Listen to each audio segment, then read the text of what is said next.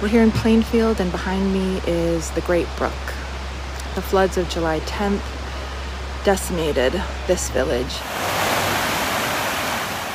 And across the state, Vermonters are recovering again on the anniversary of last year's floods. You know, what do you grab when you don't know how long you have and don't know that you're not coming back, right? I thought there's no way the building's gonna fall in the river, right? For 140 years, this building has withstood every flood until this one. The complete loss of, the, of two-thirds of the building, it's very likely that nothing will be rebuilt here. In fact, this structure will be taken down. And as just part of the recognition that like we should not be living in the floodplain, this building has seen, this would be the third flood that the building has seen in 12 months. The town is amazing. They really saved people's lives in this flood. It's very important for everyone to understand that this is a paradigm shifting event. I've heard from reliable contractors that this event, if everything were to be repaired, would cost 8 to 12 to 15 million dollars. Our annual budget is 1.4 million dollars. That's our annual budget. We have a temporary bridge being set up there, but the Mill Street Bridge, it's gone. I think that some people say it smashed into the heartbreak. This all happened because the bridge plugged. If the trees hadn't plugged the bridge, this pool that you see wouldn't be here. But our house is low enough just to hold a huge tank of pool water, which surrounded our house, which has never happened before.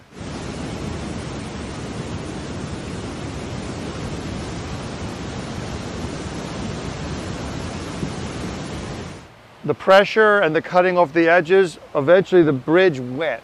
And when that went, all this water rushed, took out the heartbreak, and the damage has been going downstream since. This community, I'm fed, I'm housed. I want to stay, and I want to know how I can stay. Uh, you know, people have lost everything. So, what to do? We're a strong community, and there's a lot of uh, people joining in. There are going to be, you know, depending on what the funding response is, there are going to be some tough choices made. Well, it started uh, to be a little settlement back in the 1700s, and it was picked, this spot was because of the mill location on the Winooski.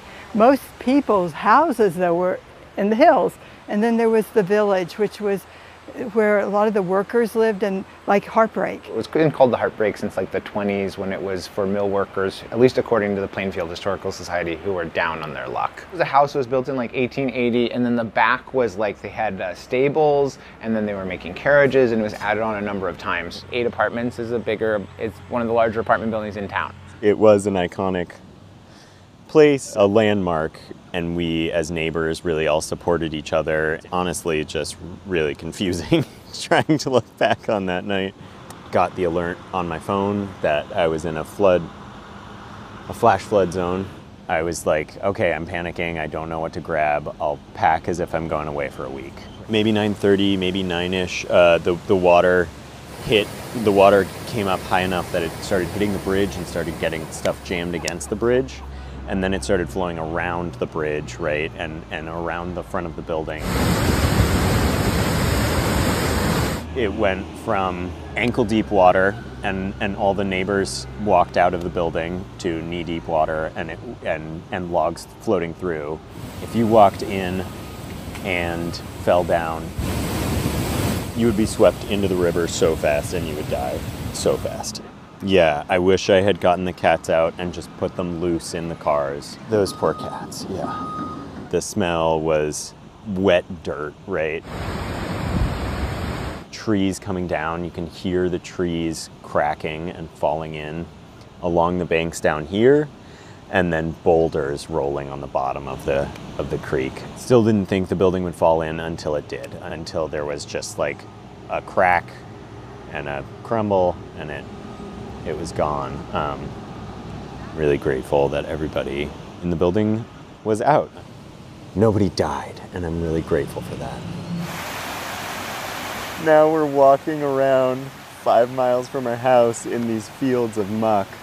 I found the first chair that I ever made, which is massive, right? So, so ridiculous, so random. So yeah, this is where I used to hop down to the water. But I just say just losing your home when you have something 16 years. Our daughter grew up here her whole life. She's 12 now. And you have this place you call home and it's just not even recognizable. We put so much of our art and time and love into the house. I was looking at the rain. It was, I mean, it was just torrential. So loud. It was raging and you could hear the boulders crashing. And I said, um, we're gonna pack a bag and go. First time homeowners in Vermont, loving Vermont, and suddenly poof. and so in, in three hours, poof, it's crazy. I had to walk down here. The roads are all closed. Everybody has to band together, but get the word out to the politicians. They have to do something now. And where is FEMA? This is an absolute catastrophe. This is a disaster area if I have ever seen one. And And, I lived through Sandy. That's like two more steps down there. The water came in here and you can see it broke all the windows, pushed in those door, that door over there. And uh, volunteers dug this place out, but that was, you know, maybe a, maybe at most a foot away from the ceilings. But then, yes, they've tunneled. They've tunneled. This is how high it still is. But they dig down to get to our electrical boxes. Our water main's down there. Next time the river is going to rise, it's just going to, there's nothing, There's nothing stopping the it's next just one. Just going to go up. Well, the force of nature is absolutely amazing. So I used to have a backyard. I have lived here for 46 years and I raised my kids here. This is not the first flood. This is the worst flood I've been through.